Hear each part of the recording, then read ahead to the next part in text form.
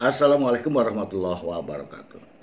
Sahabat, bersama saya Mr. G bicara. Sahabat mungkin masih ingat ya, Lesti Kejora, sang penyanyi dangdut bersuara merdu ya untuk saat ini sementara naik ya eh, apa namanya hmm, eh, penggemar Lesti di Indonesia sangat luar biasa. Mungkin sahabat ini kaget ya, kaget ada kabar bahwa Lesti Kejora menjadi korban main tangan daripada suaminya yaitu Rizky Bilar. Ya, si Lesti Kejora melaporkan kejadian tersebut ke Polres Jakarta Selatan karena hal ini dibenarkan oleh Kepala uh, Seksi Humas Polres Jakarta Selatan. Konon kabarnya Lesti sempat dicekik, dibanting, dan ditarik, diseret oleh sang suami. Ada apa sebenarnya? Supaya tidak menjadi fitnah, sahabat, saya akan membacakan ya, membacakan berita terbaru untuk sahabat semua. Langsung kita ke sumbernya. CNN Indonesia Lesti Kejora disebut pergoki Rizky Bilar selingkuh. Lah, selingkuh. Kamis 29 September 2022. Nah, tadi kemarin ya. Jakarta, CNN Indonesia. Lesti Kejora disebut sempat mergoki suaminya Rizky Bilar berselingkuh yang membuat keduanya berseteru hingga membuahkan laporan kekerasan dalam rumah tangga ke polisi. Dugaan tersebut diungkap oleh Kabit Umas Polda Metro Jaya Kombes Endra Yulpan dalam keterangannya kepada media Kamis 29 September. Berawal dari korban Lesti dan terlapor yang merupakan suami istri dan terlapor ketahuan berselingkuh di belakang korban, kata Yulpan. Yulpan menyebut Lesti kemudian meminta dirinya dipulangkan ke rumah orang tuanya di Cianjur, Jawa Barat. Namun hal itu justru membuat Rizky Bilar naik pitam dan diduga melakukan tindak kekerasan. Peristiwa itu disebut terjadi di Jalan Gaharu 3, Cilandak, Jakarta Selatan pada Rabu 28 September pukul 01.51. Wih, dini hari.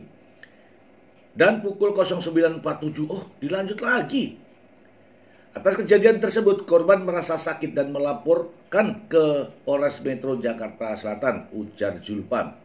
Laporan tersebut diterima dengan nomor LPB 2348 Romawi 9 2022 SPKT Polres Metro Jakarta Selatan Polda Metro Jaya.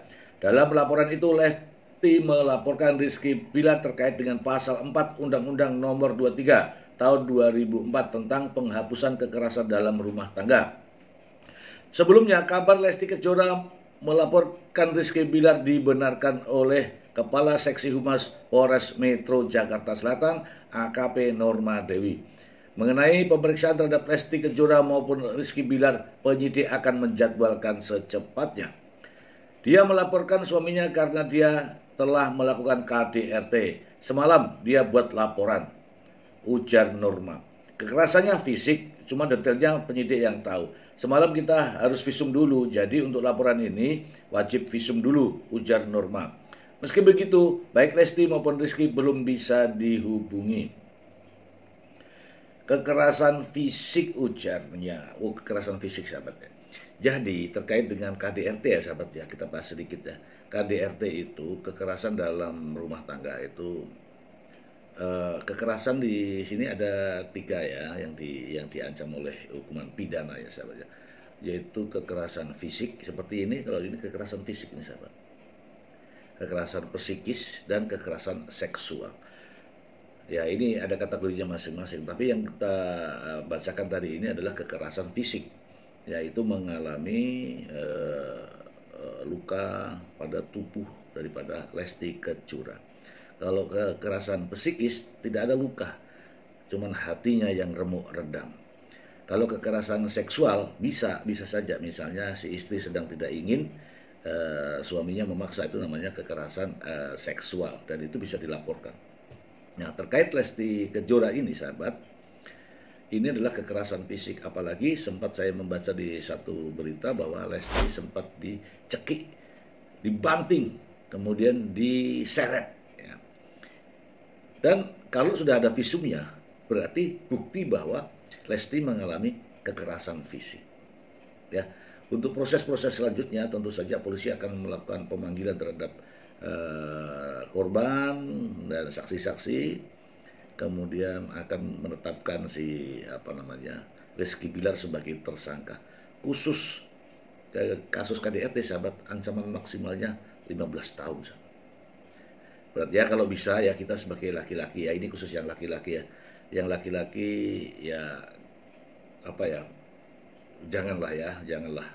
Karena eh, perbuatan-perbuatan uh, semacam itu, itu melanggar uh, melanggar Uh, undang-undang uh, ya undang-undang penghapusan kekerasan dalam rumah tangga. Oke sahabat silakan sahabat menggoogling ya kondisi uh, Lesti yang telah mengalami kekerasan oleh suaminya sendiri. Demikian sahabat, semoga bermanfaat untuk sahabat semua. Terima kasih. Assalamualaikum warahmatullahi wabarakatuh.